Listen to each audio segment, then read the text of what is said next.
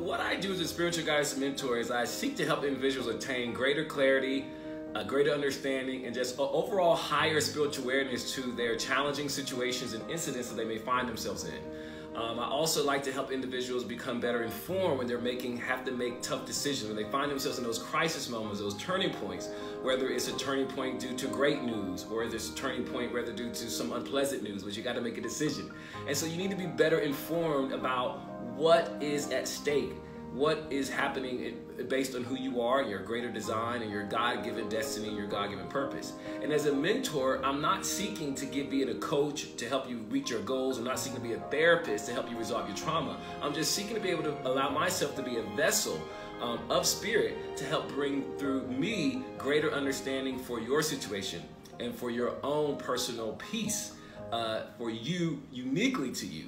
And so I'm not an authority. I'm just a mentor.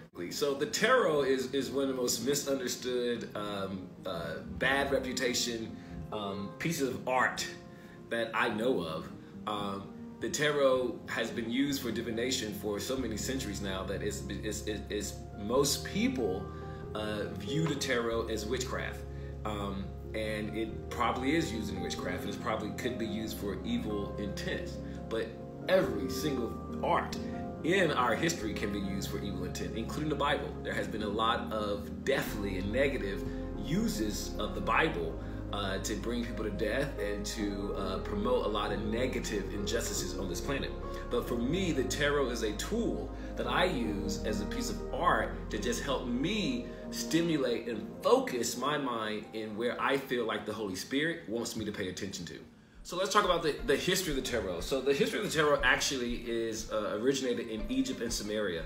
Um, and so it was it was is hieroglyphics. All the tarot the tarot is hieroglyphics basically is, is, is, is, pictures that convey a meaning or convey a story. Um, over the centuries, it, it, it made its way into Europe um, through Egyptians who were outcasted from Egypt uh, at the turn of different empires that came through. And these people are known but by the nickname of Egyptians as gypsies. So I'm not sure if, if, if, most people are aware that gypsies, or the term gypsy, is short for Egyptians, and Egyptians who had left uh, out of out of some type of persecution or as refugees into Europe, and they brought with them um, the hieroglyphic systems that they used for their spiritual study, but became also a form of divination.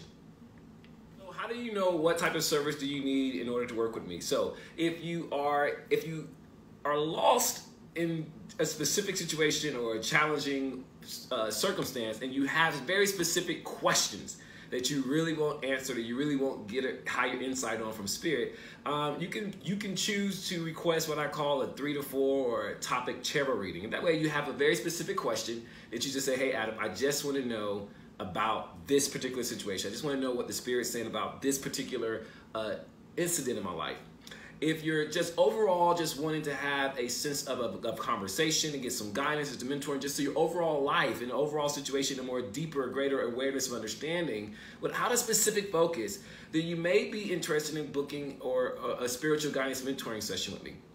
And maybe after three sessions uh, we can just help you feel a sense of more peace a better alignment with your overall purpose and your more cosmic design Another service that I, I become, I'm becoming very, very fond of and has become very popular is what I call a basic human design conversation, uh, which is based upon the human design science or the human design system or the science of differentiation um, that was founded by Ra Uru Hu in the late 80s.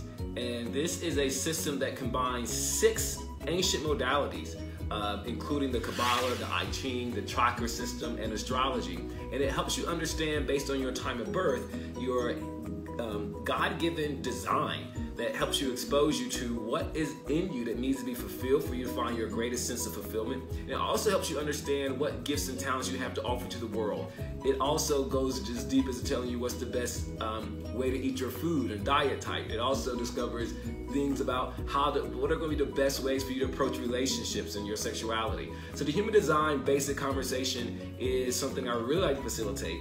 And if you're looking for just a better understanding of who you are, I definitely encourage you to consider that.